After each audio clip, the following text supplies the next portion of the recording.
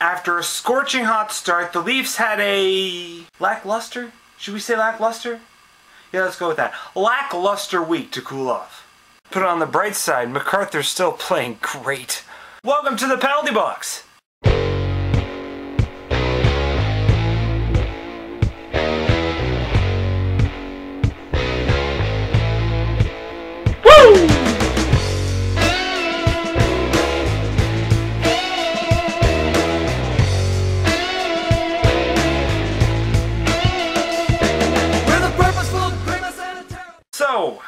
It's been a bit of a rough week. Let's start this off with the return home to face the New York Islanders. Leafs lose 2-1 in overtime against Dwayne Roloson. And this game was chock full of controversy. Matt Moulson opens the scoring early in the second period with a sweet move, sneaks one past Giguere, 1 0. A few minutes later, the Leafs answer back, and here's where the controversy starts. Kris Versteeg corrals a bouncing puck off of the shoulder of Dwayne Roloson and fires it in, uh, no goal. It was ruled a high stick. The ref behind the play thought Versteeg's stick was above the crossbar. Looked kind of borderline to me. In a video replay, the stick looked like it was about level with the crossbar, and if it's that close, that's a call you shouldn't be making. Either way, the goal's called off, and Kris Versteeg is once again held off the score sheet. The Islanders continue to keep the Leafs off the scoreboard until midway through the third, Colby Armstrong fires one past and... Oh, of course. Called off again. Now, I was outraged at first, but looking at the replay, it never crossed the line. Bounced around the crease and no goal. With Versteeg's called off goal, there was a case, but not with this one.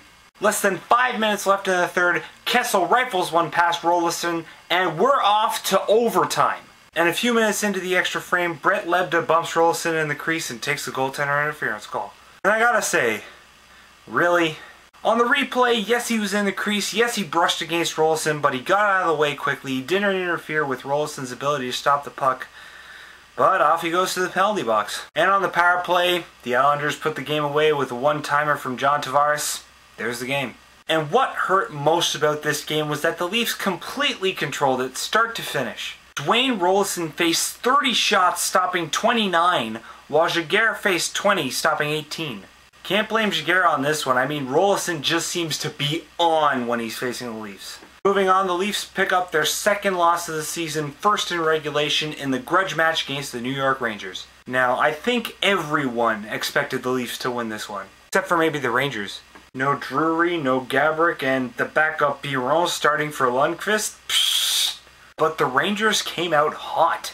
In the first, Ruslan Fedotenko scored, followed up by Artem Anisimov, and the Rangers are up 2-zip after 20 minutes. And it stays that way through the second. Despite some sweet scoring chances for the Leafs, Biron stands tall. Midway through the third, Clarke MacArthur shot is stopped by Martin Biron, but right on the doorstep is Colby Armstrong, and Potts his first in the blue and white. And hey, look who's back on the score sheet! Good old Clarke MacArthur.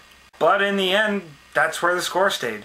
Leafs got some huge opportunities, including a breakaway on the power play in the third, but Biron just came up big. He stopped 24 out of 25 shots for the win. But hey, it wasn't just the goalie for the Blue Shirts that was amazing this time. Gustavsson stopped 30 out of 32 shots. That's right, we were outshot 32 to 25. The Leafs were lucky this was a one goal game. And on to the biggest and most painful loss of this young season, the Leafs lose 5-2 to the Philadelphia Flyers. Mike Richards, scoring his first of the season, starts things off in the first, firing one past Giguere on a brutal Francois Beauchemin turnover. The Flyers go up 2-0 in the dying minutes of the first, Ville Leino trickling a shot past Giguere through traffic, and they have the 2-0 lead going into the second. Phil Kessel answers back for the Leafs, flying down the right side. He snipes one past Boucher, and it's a one-goal game.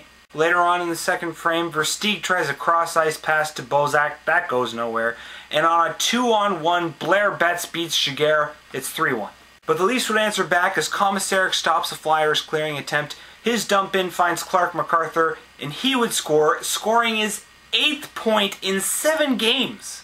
But 3-2 is as close as the Leafs would get as a clean-cut Scott Hartnell finds the back of the net early in the third from a cross-ice pass from Mike Richards on another 2-on-1 It's now 4-2.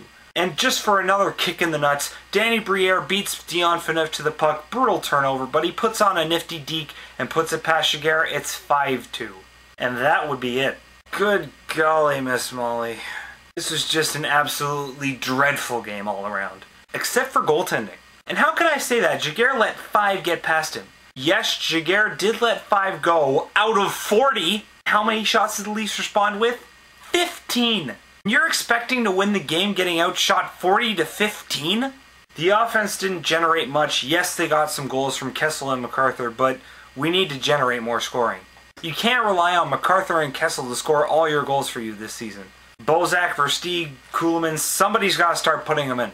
But out of everyone, the bulk of the blame for the loss rests squarely on the defense core. Brutal turnovers and ill advised plays led to two on one rushes and breakaways for the Flyers, and I don't care who your goalie is, you give your opponent enough of those and they will score.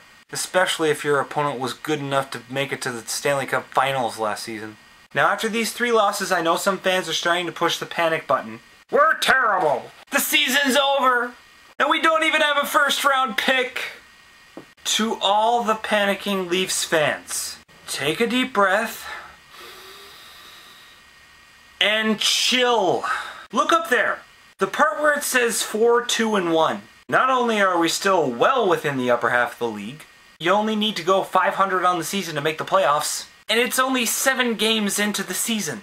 Remember when we were at this time last year? We had a grand total of 0 wins. So calm the hell down. We will have winning streaks and we will have losing streaks, but we have 75 more games to play, plenty of time to work out the kinks. Anyway, the Leafs face Florida next, and I'll be seeing you next week. Go Leafs, go!